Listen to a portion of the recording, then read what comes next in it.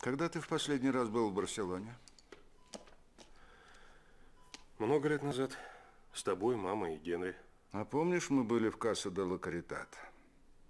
Это богадельня? Она самая. Ты вспомнил Майера. Его барселонский музей расположен совсем рядом с Касса де ла Каритат.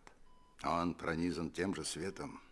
Майер установил там серию световых люков с жалюзи, чтобы схватить этот свет, завлечь его и осветить картину на стенах, но не прямым образом. И это самое важное, потому что, хотя свет усиливает живопись, он может испортить ее, но ты все это уже знаешь, сукин ты сын.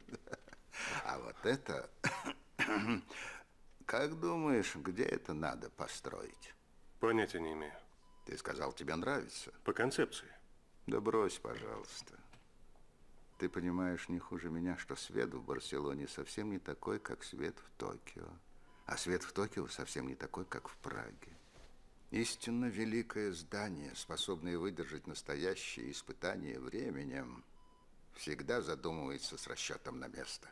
Серьезный архитектор учитывает это, если хочешь творить на века.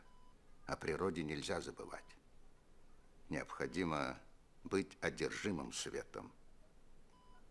Помни о свете. Помни.